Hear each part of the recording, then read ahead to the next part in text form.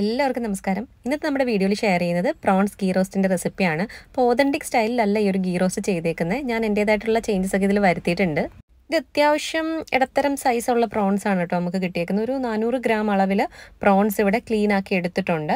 ഇനി ഇത് ലൈറ്റായിട്ടൊന്ന് മാരിനേറ്റ് ചെയ്യണം. അതിനായിട്ട് കാൽ ടീസ്പൂൺ മഞ്ഞൾപ്പൊടി ഏകദേശം ഒരു ടീസ്പൂൺ അളവിൽ മല്ലിപ്പൊടി ഒരു ടീസ്പൂൺ അളവിൽ കാശ്മീരി റെഡ് ചില്ലി പൗഡർ അല്ലെങ്കിൽ എരിവധികം ഇല്ലാത്ത മുളക് പൊടി ആവശ്യത്തിന് ഉപ്പ് അതുപോലെ ഒരു കാൽ ടീസ്പൂൺ അളവിൽ ഗരം മസാല.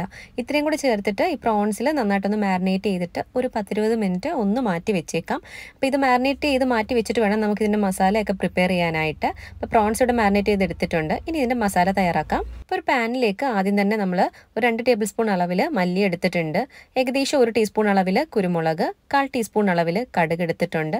അതുപോലെ തന്നെ കാൽ ടീസ്പൂൺ അളവിൽ ഉലുവ ഏകദേശം ഒരു ടീസ്പൂൺ അളവിൽ വലിയ ജീരകം കാൽ ടീസ്പൂൺ അളവിൽ ചെറിയ ജീരകം ഒരു ഏഴ് മുതൽ എട്ട് വരെ വറ്റൽമുളക്. ഇത്രയും നമ്മൾ ഒരുമിച്ച് എടുക്കുക. അതിനുശേഷം ഫ്ലെയിം ഓൺ ആക്കിയിട്ട് കുറഞ്ഞ തീയിൽ വെച്ചിട്ട് ഇത് നന്നായിട്ടൊന്ന് റോസ്റ്റ് ചെയ്തെടുക്കുക. എപ്പോഴും ഈ സ്പൈസസ് ഒക്കെ റോസ്റ്റ് ചെയ്യുന്ന സമയത്ത് നമ്മൾ ലോ ഫ്ലെയിമിൽ വെച്ചിട്ട് വേണം ഫ്രൈ ചെയ്തെടുക്കാൻ വേണ്ടിയിട്ട്. സ്പൈസസ് ഒക്കെ അത്യാവശ്യം റോസ്റ്റ് ചെയ്തെടുത്തിട്ടുണ്ട്. ഇനി ഇത് തണുത്തതിന് ശേഷം നമുക്ക് മിക്സിയുടെ ജാറിലോട്ട് എടുക്കാം. ഈ സ്പൈസസിന്റെ കൂടെ തന്നെ ഒരു അഞ്ച് മുതൽ ആറല്ലി വെളുത്തുള്ളി എടുത്തിട്ടുണ്ട്. ഒരു കഷ്ണം ഇഞ്ചി എടുത്തിട്ടുണ്ട്. ഒരു ഏഴോ എട്ടോ കൊച്ചുള്ളി ചെറുതായിട്ടൊന്ന് ചോപ്പ് ചെയ്തിട്ട് കൊടുക്കുന്നുണ്ട്.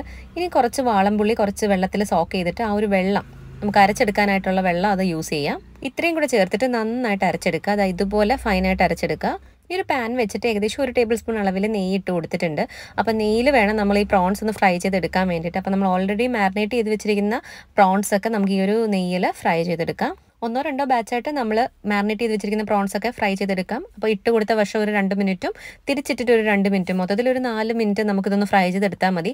ഓവർ കുക്ക് ആവേണ്ട കാര്യമില്ല. അപ്പോൾ ഏകദേശം ഒരു രണ്ട് മിനിറ്റ് ഒക്കെ കഴിയുമ്പോൾ നമുക്ക് തിരിച്ചു ഇട്ട് കൊടുത്ത് ഇതൊന്ന് ഫ്രൈ ചെയ്തെടുക്കാം. അപ്പോൾ മീഡിയം ഫ്ലെയിമിൽ വെച്ചിട്ട് വേണം ഇത് ഫ്രൈ ചെയ്തെടുക്കാൻ വേണ്ടിയിട്ട്. അപ്പോൾ നമ്മുടെ പ്രോൺസ് ഒക്കെ ഏകദേശം ഇതുപോലെ ഒന്ന് ഫ്രൈ ആയി വന്നിട്ടുണ്ട്. നമുക്കിതെടുത്ത് മാറ്റാം. അപ്പോൾ ഈ ഒരു പാനിൽ വെച്ചിട്ട് തന്നെയാണ് നമ്മൾ പ്രോൺസ് ഗീ റോസ്റ്റ് ചെയ്തെടുക്കുന്നത്. അപ്പോൾ ഈ ഒരു പാനിലേക്ക് ഞാൻ ആദ്യം ഒരു ടേബിൾ സ്പൂൺ നെയ്യ് ഒഴിച്ച് കൊടുത്തിട്ടുണ്ട്. അപ്പോൾ വേണമെന്നുണ്ടെങ്കിൽ ഒന്ന് മുതൽ ഒന്നര ടേബിൾ സ്പൂൺ വരെ നെയ്യ് നമുക്ക് ചേർത്ത് കൊടുക്കാം.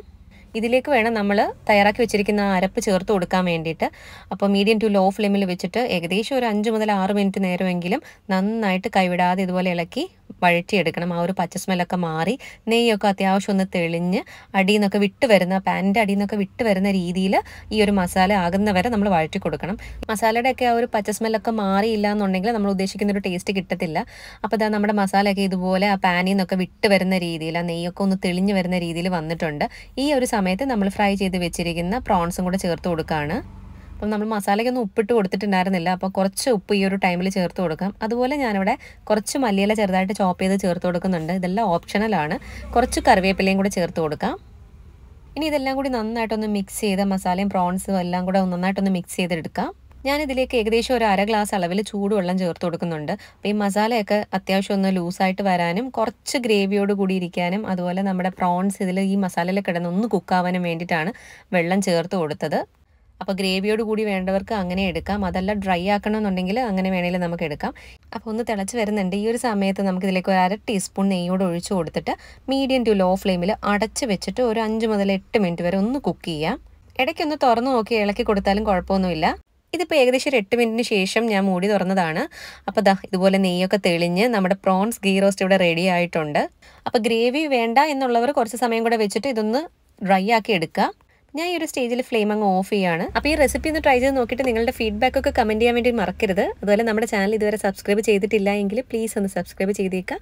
തൊട്ടടുത്ത് കാണുന്ന ബെല്ലൈക്കൺ കൂടി ഇനേബിൾ ചെയ്താൽ മാത്രമേ ഞാൻ പുതിയ വീഡിയോസ് ഇടുമ്പോൾ നിങ്ങൾക്ക് അപ്ഡേറ്റ്സ് ഒക്കെ കിട്ടത്തുള്ളൂ. അപ്പോൾ പുതിയ വീഡിയോ ആയിട്ട് ഉടനെ തന്നെ കാണാം. താങ്ക്